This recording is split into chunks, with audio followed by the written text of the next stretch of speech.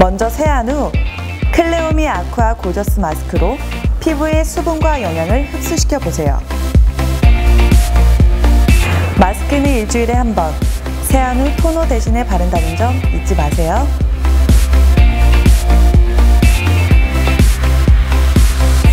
마스크로 피부에 수분을 전달한 뒤 EGF 밀크 앰플을 사용해 깊은 보습과 탄력을 느껴보세요.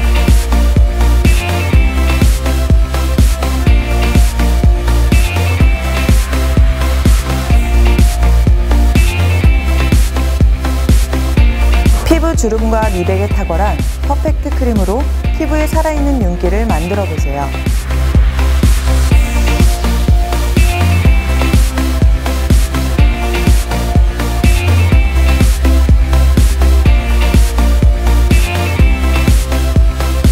눈가 주름은 이제 안녕.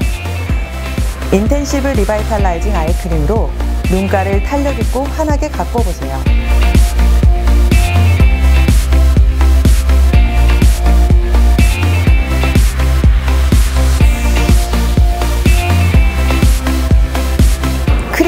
아이크림을 완전히 흡수시킨 후 비타민 앰플을 사용해 U존을 케어해보세요. EGF 밀크 앰플과 비타민 오일 앰플은 이틀에 한 번씩 사용해야 한다는 점 기억하세요.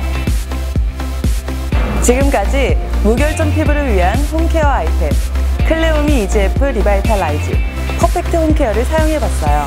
당나귀 유와 당나귀 오일이 함유된 제품으로 28일간의 피부 기적을 만들어 보세요.